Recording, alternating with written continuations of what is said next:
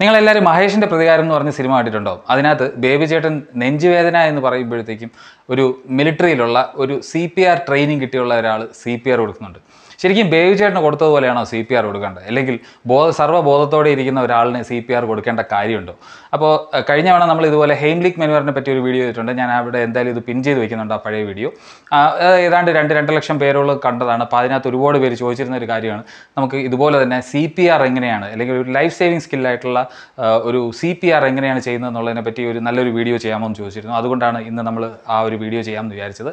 ഇതിനകത്ത് പ്രധാനമായിട്ടും പറയാനുള്ളത് ഇത് അമേരിക്കൻ ഹാർട്ട് അസോസിയേഷൻ അതുപോലെ തന്നെ റെഡ് ക്രോസ് സൊസൈറ്റിയും എല്ലാം ചേർന്ന് അവരുടെ സിലബസിനകത്ത് പെട്ടതാണ്. അതിന് വളരെ വിദഗ്ധയായിട്ടുള്ള ഒരു ട്രെയിനർ തന്നെയാണ് നമുക്ക് ഇന്ന് വേണ്ടി സംസാരിക്കുന്നത്. അനുപ റോഷൻ എൽ എയിലെ ഒരു ഹോസ്പിറ്റലിൽ ലോസ് ആഞ്ചലസിൽ ഒരു ഹോസ്പിറ്റലിൽ വർക്ക് ചെയ്യുന്ന ഒരു പ്രത്യേകിച്ച് സി പി ആർ അതുപോലെയുള്ള കാര്യങ്ങൾക്കൊക്കെ ട്രെയിനിങ് കൊടുക്കുന്ന ഒരാളാണ്.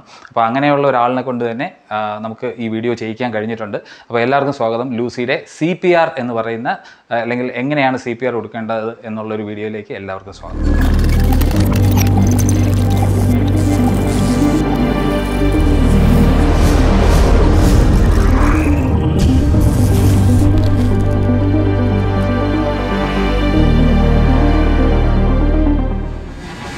എങ്ങനെയാണ് കൃത്യമായിട്ട് സി പി ആർ കൊടുക്കേണ്ടത്? ഏതൊക്കെ കണ്ടീഷനിലാണ് അത് തന്നെ ശിശുക്കൾക്കും കുട്ടികൾക്കും അതുപോലെ അഡൽസിനും പ്രായപൂർത്തിയായവർക്കും എങ്ങനെയാണ് കൊടുക്കേണ്ടതെന്നുള്ളതിനെ പറ്റി വളരെ വിശദമായി തന്നെ നമ്മൾ ഈ വീഡിയോ ചെയ്യുന്നുണ്ട്. ആരും വീഡിയോ മിസ് ചെയ്യാതെ തുടക്കം മുതൽ ഒടുക്കം വരെ കാണുക.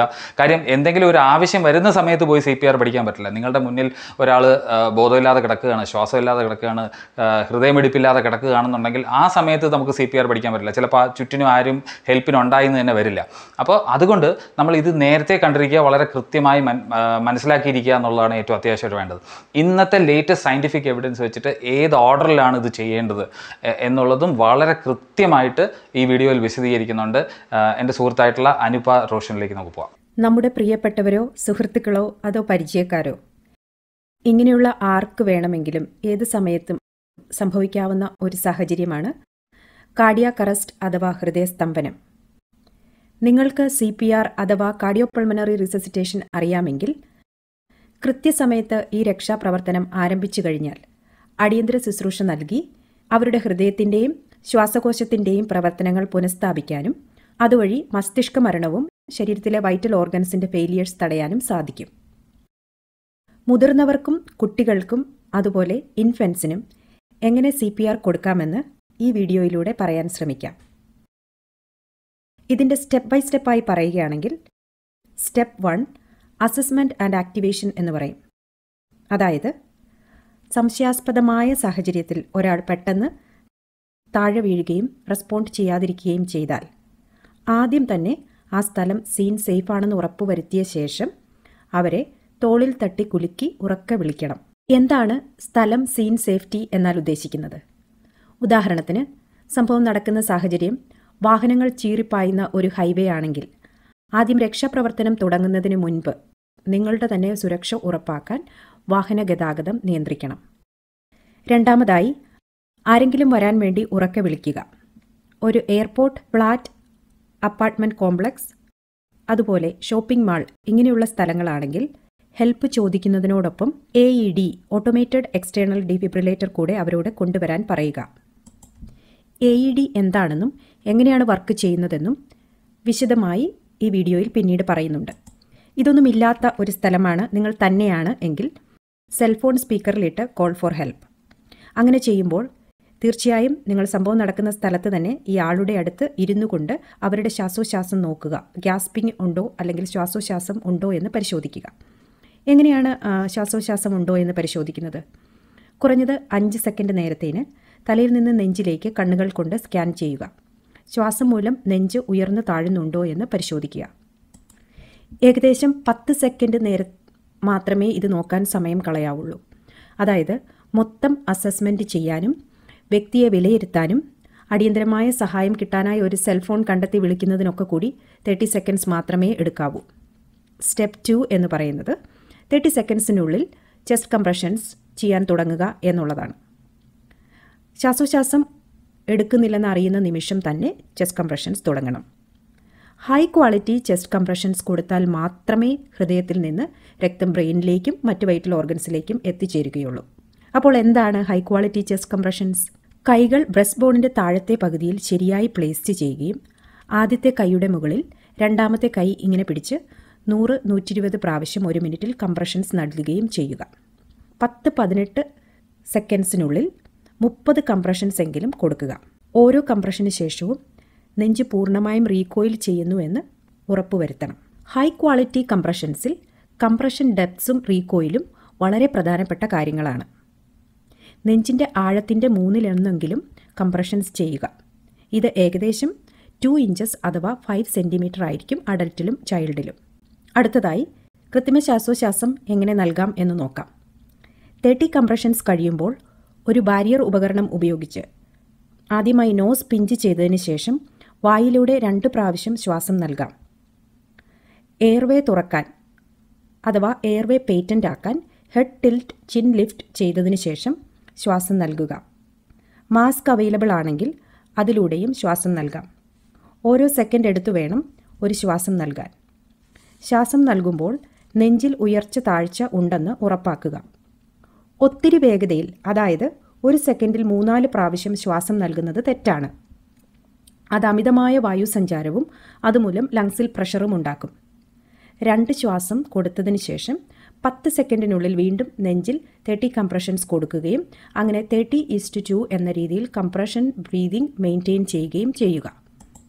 നിങ്ങൾ ഓട്ടോമേറ്റഡ് എക്സ്റ്റേണൽ ഡിഫിബ്രിലേറ്റർ ഇല്ലാത്ത സ്ഥലത്താണെങ്കിൽ ഇതുതന്നെ സൈക്കിളായി ചെയ്തുകൊണ്ടേയിരിക്കുക.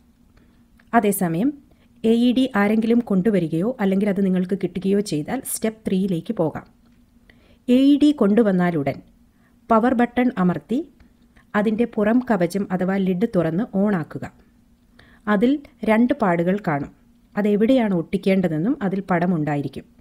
ഓരോ വ്യക്തികളുടെ പ്രായത്തിനനുസരിച്ചുള്ള പാടുകൾ മനസ്സിലാക്കിയിരിക്കുന്നത് നന്നായിരിക്കും. മുതിർന്നവർക്ക് പാടുകൾ കറക്റ്റായ സ്ഥലത്ത് സ്ഥാപിക്കുമ്പോൾ ഹൃദയത്തിന്റെ ഋതം അത് ഓട്ടോമാറ്റിക്കലി വിശകലനം ചെയ്യും.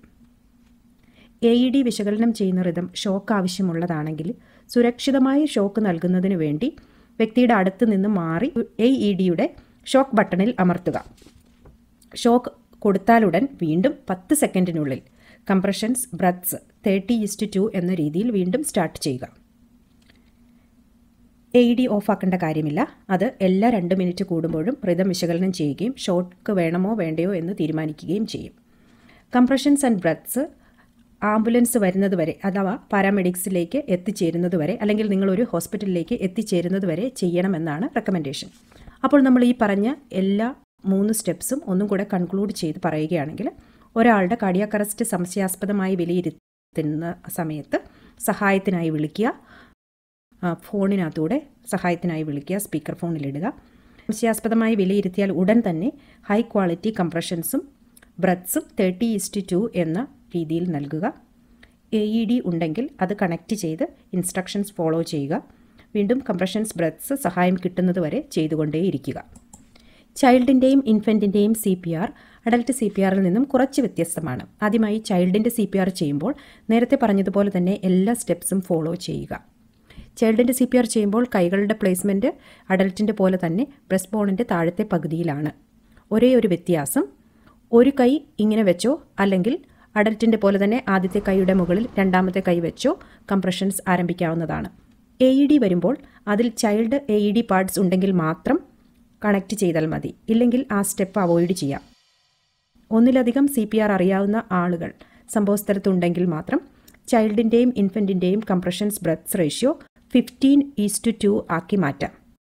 Again don't forget high quality chest compressions matters ഇൻഫന്റിന്റെ C P R എങ്ങനെയാണെന്ന് നോക്കാം. ഇൻഫന്റ് എന്നാൽ സീറോ ടു വൺ ഇയർ വരെ പ്രായമുള്ള കുഞ്ഞുങ്ങളെയാണ് ഉദ്ദേശിക്കുന്നത്. ഇവർക്ക് സി പി ആർ കൊടുക്കുമ്പോൾ കാര്യങ്ങൾ കുറച്ച് വ്യത്യസ്തമാണ്. ആദ്യമായി ശിശുവിന്റെ അവസ്ഥ വിലയിരുത്തുന്നതിനായി ഉള്ളംകാലിൽ തട്ടിയാണ് വിളിക്കുന്നത്. കുഞ്ഞ് കരയുന്നില്ല അല്ലെങ്കിൽ യാതൊരു രീതിയിലും റെസ്പോണ്ട് ചെയ്യുന്നില്ലെങ്കിൽ സാധാരണ ശ്വാസോശ്വാസമോ ഗ്യാസ്പിങ്ങോ ഉണ്ടോ എന്ന് പരിശോധിക്കുക. നേരത്തെ പറഞ്ഞതുപോലെ തന്നെ കുറഞ്ഞത് അഞ്ച് സെക്കൻഡ് നേരത്തേക്ക് തലയിൽ നിന്ന് നെഞ്ചിലേക്ക് നിങ്ങളുടെ കണ്ണുകൾ കൊണ്ട് സ്കാൻ ചെയ്യുക. അത് ആബ്സെന്റ് ആണെങ്കിൽ ഉടനെ തന്നെ ഹൈ ക്വാളിറ്റി കംപ്രഷൻസ് ആരംഭിക്കുക. അതായത് ഹൃദയസ്തംഭനം തിരിച്ചറിഞ്ഞ് മുപ്പത് സെക്കൻഡ്സിനുള്ളിൽ തന്നെ കംപ്രഷൻസ് തുടങ്ങണം.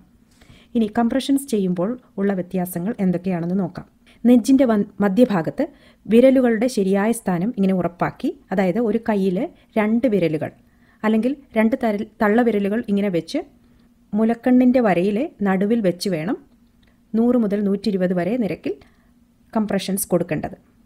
പതിനെട്ട് പതിനഞ്ച് സെക്കൻഡിനുള്ളിൽ മുപ്പത് കംപ്രഷൻസ് വരെ നൽകണം. കംപ്രഷൻ ഡെപ്സും റീകോയിലും വളരെ പ്രധാനപ്പെട്ട കാര്യങ്ങളാണ്. കംപ്രഷൻസ് നെഞ്ചിന്റെ ആഴത്തിന്റെ മൂന്നിലൊന്നെങ്കിലും നൽകണം. അത് ഏകദേശം വൺ പോയിന്റ് ഫൈവ് ഇഞ്ചസ് അഥവാ ഫോർ സെന്റിമീറ്റർ ആയിരിക്കും ഇൻഫൻസിൽ ഓരോ കംപ്രഷന് ശേഷവും പൂർണമായും നെഞ്ച് റീകോയിൽ ചെയ്തുവെന്ന് ഉറപ്പാക്കണം. എങ്കിൽ മാത്രമേ ഹാർട്ടിൽ ബ്ലഡ് റീഫിൽ ചെയ്യുന്നുള്ളൂ.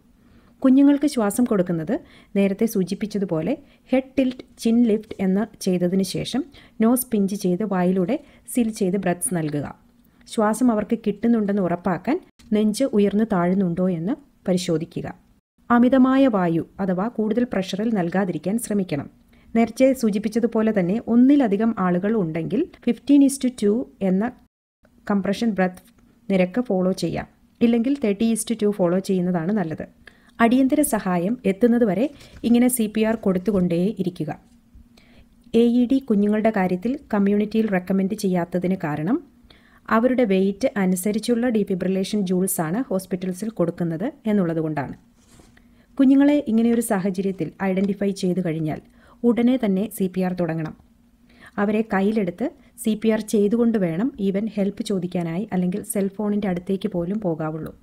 Time is very precious six മിനിറ്റ്സിനുള്ളിൽ high quality C P R കൊടുത്താൽ ഹൃദയത്തിന്റെയും ബ്രെയിനിന്റെയും മറ്റ് വൈറ്റൽ ഓർഗൻസിന്റെയും പ്രവർത്തനം പുനഃസ്ഥാപിക്കാനും അങ്ങനെ ബ്രെയിൻ ഡെത്ത് അഥവാ മസ്തിഷ്ക മരണം പ്രിവെന്റ് ചെയ്യാനും സാധിക്കും. Thank you Anupa. റോഷൻ ലൂസിക്ക് വേണ്ടി ഇതുപോലെ വളരെ മനോഹരമായിട്ട് മന്നക്വിനൊക്കെ വെച്ചിട്ട് വളരെ ഭംഗിയായി തന്നെ ആ വീഡിയോ കാണിച്ചു അതിനകത്ത് അതുപോലെ തന്നെ ബ്ലഡ് സർക്കുലേഷനെ പറ്റിയൊക്കെ ഉള്ളത് നമുക്ക് ആ വീഡിയോയിൽ കാണാമായിരുന്നു.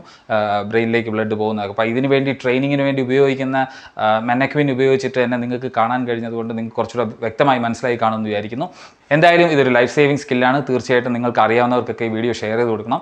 അതുപോലെ തന്നെ നിങ്ങൾക്ക് ഈ വീഡിയോ ഇഷ്ടപ്പെട്ടെങ്കിൽ തീർച്ചയായിട്ടും ലൈക്ക് ചെയ്യുക. ഇതുപോലെ തുടർന്നും ശാസ്ത്ര വിഷയങ്ങൾ മെഡിക്കൽ സംബന്ധമായിട്ടുള്ള പരിണാമം സംബന്ധിച്ച് ആസ്ട്രോണമി സംബന്ധിച്ച് ശാസ്ത്രത്തിൽ ശാസ്ത്രത്തെക്കുറിച്ച് ആരെങ്കിലും ദുരുപയോഗം ചെയ്യുകയാണെങ്കിൽ അത് ഡീബങ്ക് ചെയ്തുകൊണ്ടുള്ള വീഡിയോകളും ഒക്കെ നിങ്ങൾക്ക് കാണാൻ താല്പര്യമുണ്ടെങ്കിൽ തീർച്ചയായിട്ടും എന്റെ ചാനൽ സബ്സ്ക്രൈബ് ചെയ്യുക. അപ്പോൾ ഇനി മറ്റൊരു ഇൻട്രസ്റ്റിംഗ് ആയിട്ടുള്ള വിഷയമായി കാണുന്നവരെ ഐ എം ഹോസ്റ്റൽ ദശേഖർ സൈനിങ് ഓഫ്